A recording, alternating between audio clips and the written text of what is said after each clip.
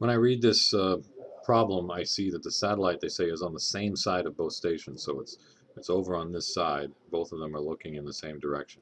They tell me that the angles of elevation are 87 and 84. So this has got to be the 87, the bigger one. This is the smaller angle of 84. So A was here and B was there.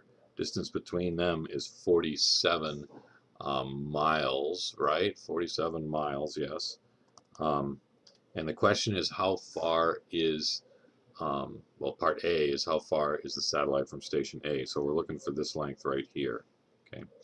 So um, this information is enough to get me all these angles. Um, my first thought about how to calculate uh, the angles was to say, hey, well, these two angles add up to 180 degrees. So this one's already 87. This one must be 93.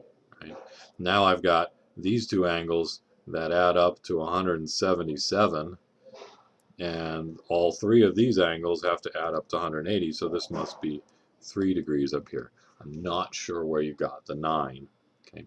Another thing is once I see this three degrees I remember a theorem from geometry that says hey the angle the what's called an exterior angle of a triangle adds up to the other two sorry is equal to the sum of the other two angles. So the 84 and the 3 have to be 87 so that's good.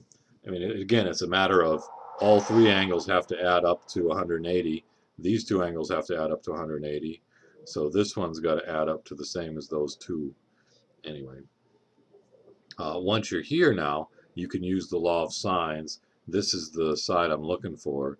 So x over the sine of 84 degrees is the same as 47 over the sine of 3 degrees. So x equals 47 sine 84 degrees divided by the sine of 3 degrees and whatever that's equal to which I get is 893.124 whatever close enough.